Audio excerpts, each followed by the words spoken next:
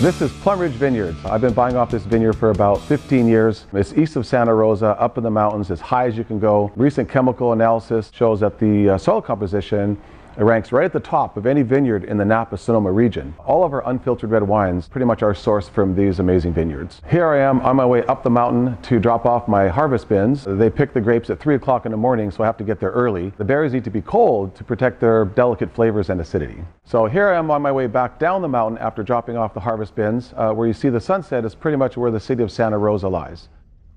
This is my Cabernet Sauvignon block. Uh, you can see a cool fog floating over the hills. This is paradise. My grape harvest crew has been working all night long, and I'm waiting for them to come down the mountain right now with my delicate Petit Sirah grapes.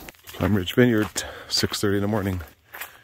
I like to help out the harvest crew as much as I can. Uh, here I'm picking my Petit Sirah grapes uh, just because we wanted to top up our harvest bins with a couple more hundred pounds to get all the grapes I can. I'm not the fastest at picking the grapes, so I decided to leave it up to the pros as they can pick a thousand pounds in three hours. That's a good one. this is Daniel, the vineyard manager. He offered to help me pick my Petite Sirah grapes. Uh, he's been managing this vineyard for about 25 years. Can't wait to go home and uh, crush these grapes. Here we go. Okay. This is the loading of the first bin into my budget rent van. Uh, the vans are 10 feet long and the harvest bins are 4 foot by 4 foot. So I can actually get just over 2,000 pounds in each load. After Daniel loaded up my second harvest bin, I ended up with just over 2,200 pounds of my Petite Sirah, which is just over a ton.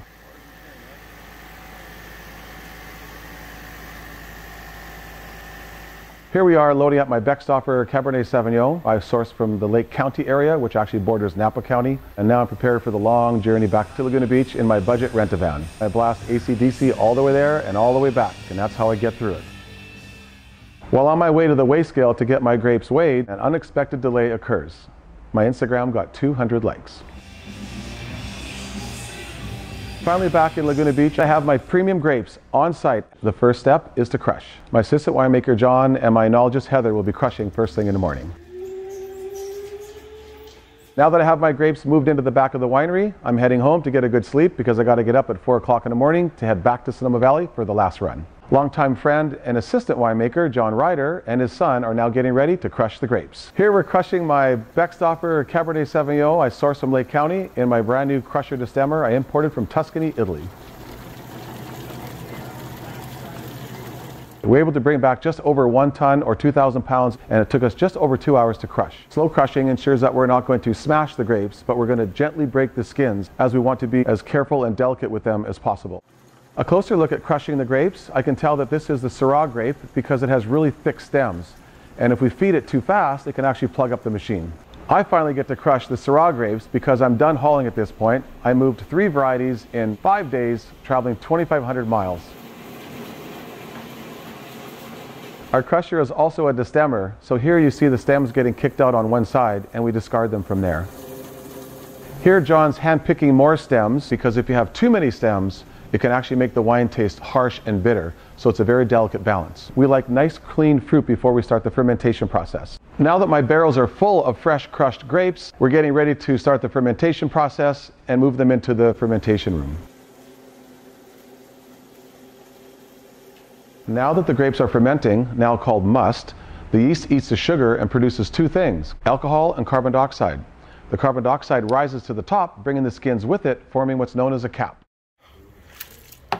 We punch the cap down three times a day, every day for 12 days. This extracts color, tannins, flavor compounds, and enzymes from the skins. Our fermentation room holds 16 barrels. Once full, we can crush into the same harvest bins we haul the grapes into and ferment right in our tasting room. Here I'm punching the cap down on my Syrah grapes. It doesn't take that long, typically about 15 minutes for a harvest bin of this size.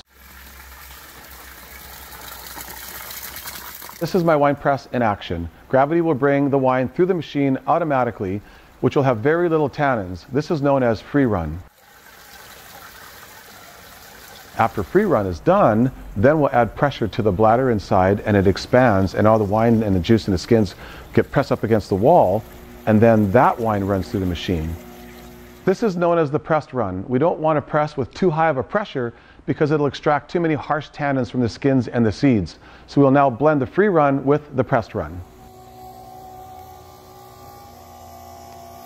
So after the pressing process, John and Heather are now discarding all of the pomace. Heather is a new addition to our winemaking team. She has her master's in viticulture and enology from UC Davis, which is the gold standard of winemaking, and we're super happy to have her. Pomace is very thick and cakey and very difficult to remove.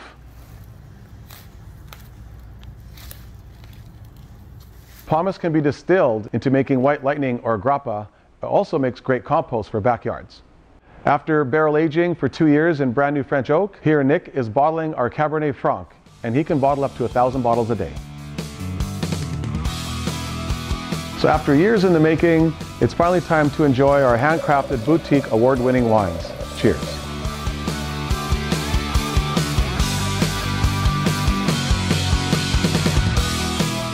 One last thing, everybody. As you already know, no Kenny G here, 80s rock and roll.